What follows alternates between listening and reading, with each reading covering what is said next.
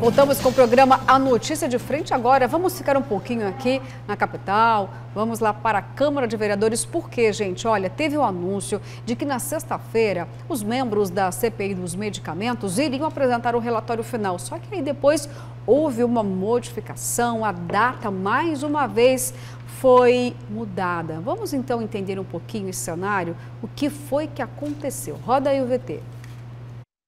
É, é, bom salientar que esses ofícios foram emitidos já há algum tempo, só que em, em outra gestão de outros secretários, né, que foram saíram da pasta, foram afastados. A secretária Ellen, interinamente e em tempo, ela respondeu algum desses ofícios. E essa resposta veio com mais de duas mil páginas. Então a gente, é, em momento oportuno, achou né, que ia fazer a redesignação dessa apresentação de relatório, pois os documentos que foram encostados nos autos da CPI precisamos ser reportado de maneira na integralidade nos autos da, do relatório. A gente pretende fazer uma força-tarefa entre os três gabinetes, né? A gente já levanta já eh, os responsáveis, né? Por parte da gestão lá do CDMIC mesmo. Então, assim, já, já indícios, fatos e documentos agora e a gente precisa analisar esse restante para poder concluir se de fato existem mais ou o número de pessoas que estão lá já é o suficiente. Procede o número de 15 indiciamentos por enquanto? Eu acredito ser para cima de, de 15. Hoje a estimativa é são 20. 20. E, e, o principal responsável seria quem? Até agora, o que, que o senhor apurou? Eu prefiro não dizer em principal responsável, né? Porque cada um tem um, uma função diferente e em pasta diferente. Essa proporcionalidade eu vou deixar para o Ministério Público e em um momento oportuno eu vou ofertar todos os documentos que vieram é, colacionados nesses autos e o Ministério Público sim decidirá a quem cabe a culpa. Bom, gente, é importante a gente ponderar aqui sobre o fato dessa modificação aí de data. Kleber Lima, você conseguiu conversar com o relator da CPI dos medicamentos, porque sabemos o papel importante do relator. Ele disse que teria recebido mais documentos da Secretaria de Saúde, portanto, não se sentiu confortável em finalizar esse processo na sexta-feira. Podem ter modificações, então, no relatório? É, o, eu, não, eu, não, falei com ele, eu falei com uma assessoria, né, que a gente estava convidando o vereador para vir aqui ao programa para falar com, conosco sobre a CPI e eles disseram na sexta-feira que tiveram que adiar a, a, a, relatório final? a coletiva né, de apresentação do relatório final, que para hoje, é, porque eles receberam na, naquele dia do, 3 mil documentos, né? É, 3 mil páginas, 3 né? mil páginas, né? Isso, 3 mil páginas de, de documentação é, da secretaria. Eles precisavam, tinha coisa importante ali que eles precisavam considerar no relatório. Então ficou para hoje. Não sei nem se vai dar tempo de eles finalizarem isso, porque é muita informação, né? Para ser processada em tão pouco tempo. É, o que eu quero destacar dessa situação da CPI é que a gente só está vendo a cara do relator da CPI agora, né? Então, assim, o protagonismo dessa CPI durante mais de três, quatro meses aí que ela sofreu, ela foi prorrogada, já era, era do Pacola, o presidente, e de outros membros, a oposição, é um barulho. É, e agora que a gente está vendo aí a, a, a cara do relator, que é uma peça fundamental. As CPIs da Câmara são três membros, é o presidente, o relator e um membro. O presidente é o Lilo Pinheiro, vamos lembrar aqui é. a população, né? Aí vem o Brito, que é o relator, é. e aí o Pacola, que é o membro. Que é o membro. Então, o membro é o que mais apareceu até agora, né? E três suplentes, que também apareceram um tanto. Então, é, o Marcos Fabrício... É...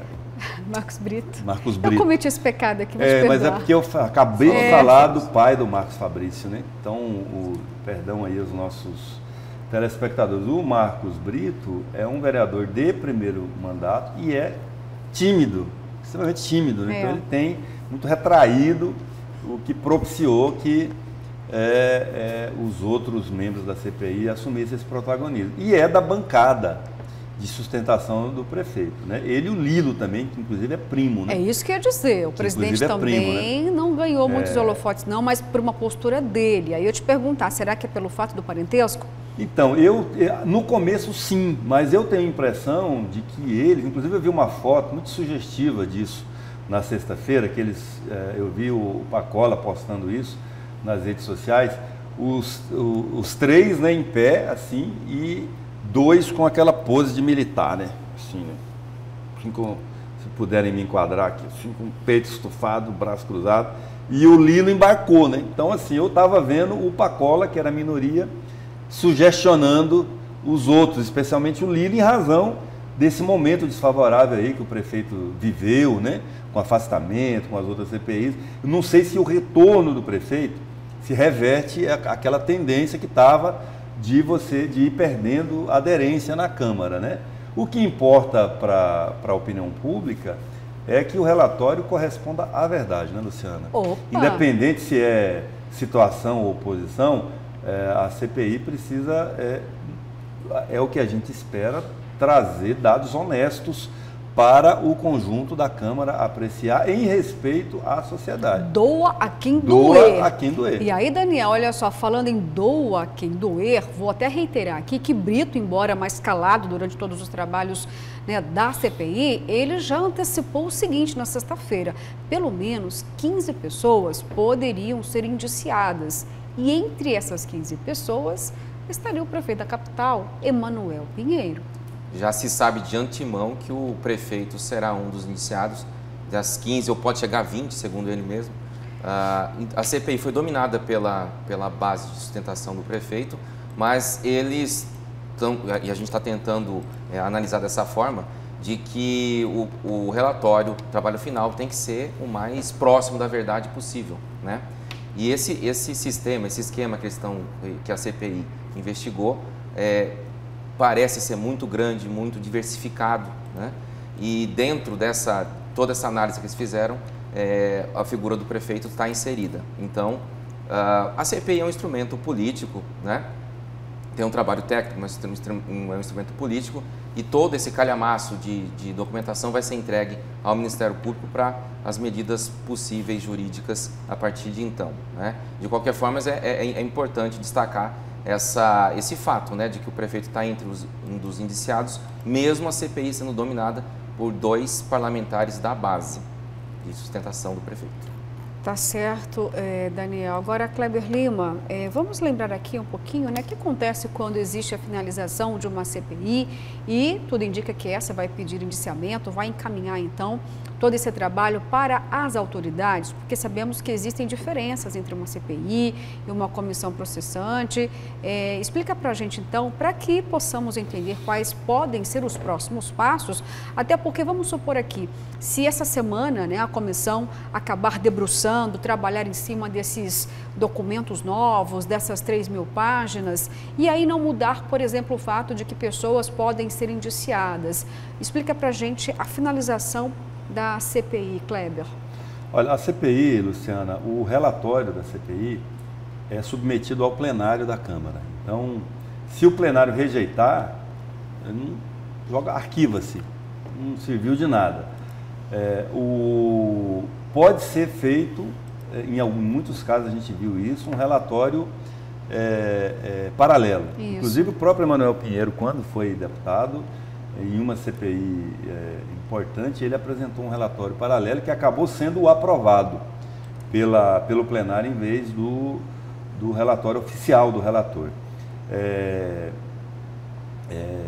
E também é o seguinte, se aprovado, aí é, aberta automaticamente, se envolvendo o prefeito, se ele for indiciado, eu entendo que automaticamente é, deveria ser aberta uma comissão processante certo. para processar, investigar e ao final, se ela é, sustentar, se aquele, se aquele indiciamento for sustentado, aí sim abre-se é, o processo de cassação do mandato.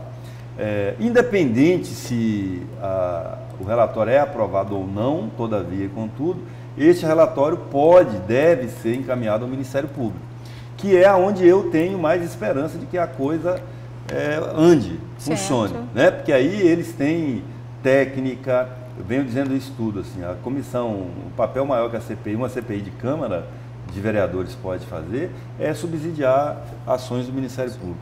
Eu acho que o grande teste de, vamos dizer assim, teste de fidelidade da base em relação ao prefeito vai ser justamente nessa, nessa etapa da votação em plenário do, do relatório. É, se a base que domina totalmente a Câmara vai votar para aprovar o prosseguimento desse processo, vai chegar até o Ministério Público e, e, quem sabe, a abertura de uma comissão processante, ou se a base e o próprio prefeito conseguir se articular para que esse relatório não ande mais do que já andou e, e pare por aí, para realmente não, tá, não criar mais um tipo de problema para o mandato do prefeito. Tá certo, obrigada. Posso mudar de assunto? Pode mudar de assunto. Bom, então vamos ver o que aconteceu nesse final de semana, porque teve a parada gay. Justamente falamos muito sobre esse assunto aqui por conta do Conselho LGBTQIA+, que não foi, né, não aconteceu. A Casa Assembleia Legislativa não conseguiu aí criar o conselho, que era um pedido do governo de Mato Grosso. Aí nesse final de semana, como todos os anos, tem a parada da diversidade. Temos aí imagens já de como foi parte dessa movimentação e milhares de pessoas viu, da comunidade LGBTQIA+, cruzaram algumas das principais avenidas aqui de Cuiabá durante a parada da diversidade que chegou o ponto final dela foi lá na Praça das Bandeiras. Isso acabou, gente, por volta de umas 7 horas da noite, viu? Começou no período da tarde, acabou se estendendo bastante, viu? E teve aí inúmeras apresentações artísticas, música, teve discurso política também sobre luta e também sobre a consolidação dos direitos. Os participantes saíram da Praça Ipiranga por volta de umas 5 horas da tarde e aí acabou cruzando parte da de algumas avenidas, ruas movimentadas, e aí o movimento foi se fortalecendo ainda mais. E essa festa aí da diversidade contou também com a presença de diversas lideranças diretas que se articulam politicamente em torno dessa pauta, e também membros da política alguns deputados e vereadores estiveram presentes então. E essa, gente, olha, é a 18ª edição da Parada da Diversidade Sexual de Mato Grosso. E chama atenção aqui o volume de pessoas, muitos ali também, olha, sem máscaras, né? Nós pedimos tanto aqui também uma consideração em relação a isso, mas a gente não percebeu pelo menos esse item que eu considero importante, independente da pauta LGBTQIA+, é, foi de forma pacífica, como acontece todos uhum. os anos, né, Daniel?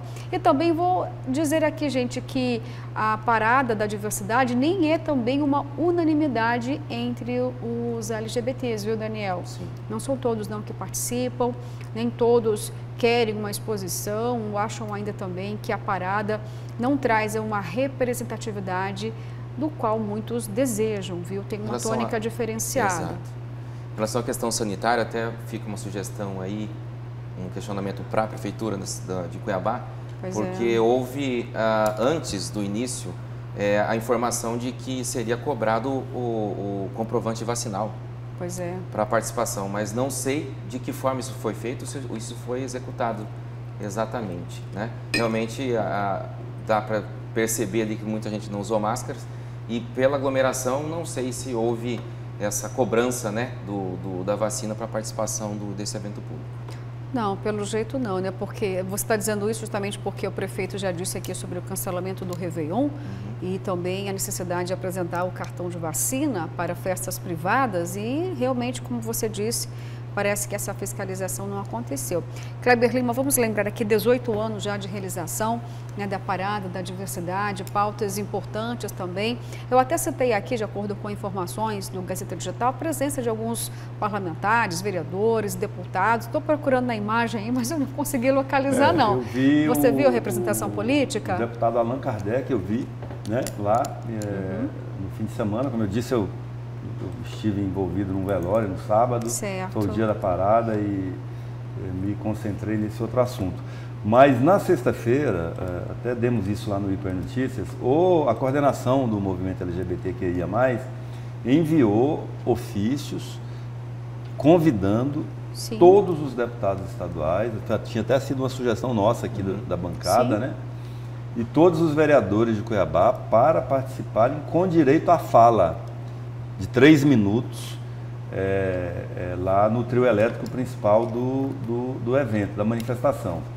É, e eu só vi o, o deputado Allan Kardec. Certo. Será que dá tempo hoje ainda da gente falar um pouquinho de sucessão estadual? Tá pegando Vamos fogo lá, aí. quero falar sobre isso. Vamos lá, teve uma mudança aí, tem um nome ventilando agora, Neri Geller, é isso mesmo? É, uma notícia aqui que a gente leu no destaque aqui do Jornal Gazeta, o Daniel até podia passar para ele dar essa notícia, porque é lá da, da, da editoria Vamos dele, lá, né? isso. Diz tudo para mim sobre Neri Geller, Daniel. O que, que foi que mudou aí? Apuração de bastidores é, que nós trazemos hoje na- no Jornal Gazeta, de que o deputado federal Neri Geller poderia compor a vice do governador Mauro Mendes, consolidando assim a candidatura do senador Wellington Fagundes nesta chapa à reeleição ao Senado. Essa articulação, de acordo com essas informações que foram apuradas, viria de, nacionalmente. Né? É uma articulação que envolve o ex-ministro Blairo Maggi e até eh, líderes do MDB, como o ex-presidente Michel Temer. Né?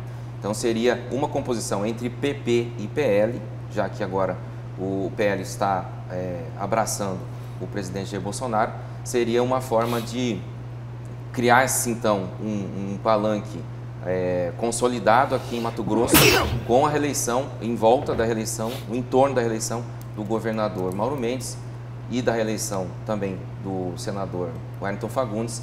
E nesse sentido, então, o deputado federal Neri Geller abriria mão de ser candidato ao Senado para ser o vice do governador. O próprio Neri não se posicionou ainda sobre essa possibilidade. E essa articulação também, Kleber, é, tem a participação do senador Jaime Campos, que é muito próximo do senador é, Wellington Fagundes e tem esse interesse de que o Wellington faça parte de toda essa chapa é, grande, que tem, vai ter força, com também o apoio do presidente Jair Bolsonaro.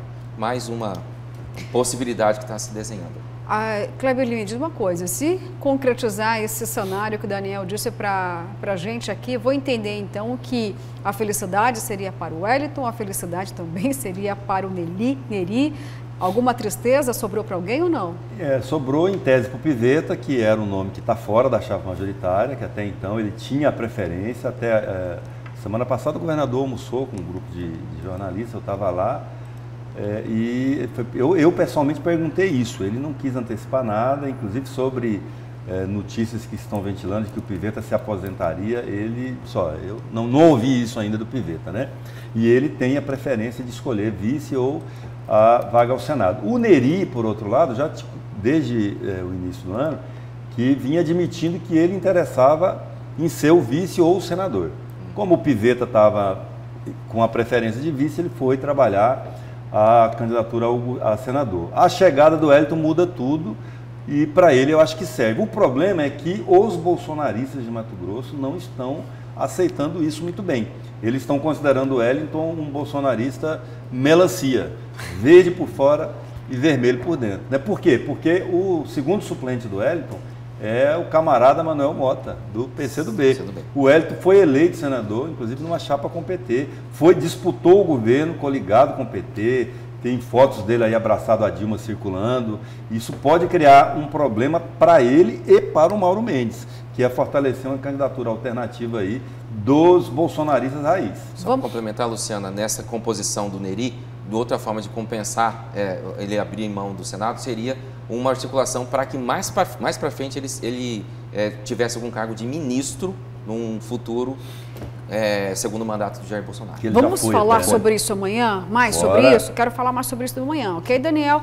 Gente, olha só, vai acabar o programa, mas aqui vou dar a última informação. Porque é futebol, o Cuiabá enfrenta o Fortaleza nesta segunda-feira, às 7 horas da noite, na Arena Pantanal. Isso em busca da reabilitação da Série A do Brasileirão. É isso mesmo, Daniel? Dramático demais esse jogo. O Cuiabá entrou na zona de rebaixamento, tem que ganhar para não ter que depender do último jogo contra o Santos na Vila Belmiro.